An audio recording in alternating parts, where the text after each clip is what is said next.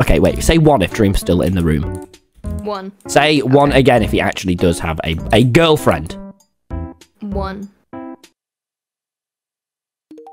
Seriously. I'll send you a picture of her. I'll send you a picture of her. Okay, I sent it to you. You can't tell anyone though. Dream did well. She's really nice. Have you met her? Yeah. Do You want me to see if he's comfortable of you like showing everyone? Yeah. Do you care if he shows them your girlfriend? He said I guess. He said yes. Really? Ugh, So I mean you can show it. I don't think she's so hot.